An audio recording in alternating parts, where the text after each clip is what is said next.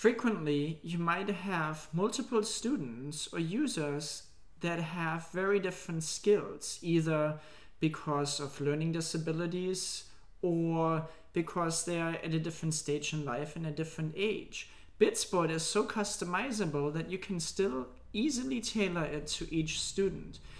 Let me give you an example how. Let's say you have Zonia here, and uh, let's say she plays the photo touch game. Kissing.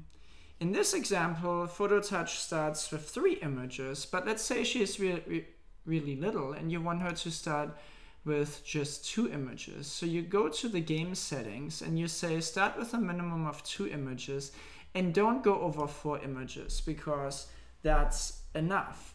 So you're done, you can now return to the game and immediately if you have multiple students it asks you if you want to save these settings for the current user or for all users. In this case, I want this setting just for Zonia. Blowing. See, now the game starts with two images. When I'm switching over to a new user, let's say to Felix, you can see that when Felix plays Photo Touch, he likes the cat. It still starts with three images. Let's say Felix is older and you wanted to start with six images, you can do that again and you can set the maximum and tweak it. And again, I can say just save it for the current user. We like the school. And now you can see that when Felix starts the photo touch game, it starts with six images. But when you're switching over to Zonia, the photo touch game will start Breaking. with just two images. So that is one way in which you can easily tweak the game settings for each user in Bitsboard. You can also do that with content. In this example, in the action words board, there is a lot of items. So, bathing. If you want Zonia to just focus on a couple of favorites, you can do that here.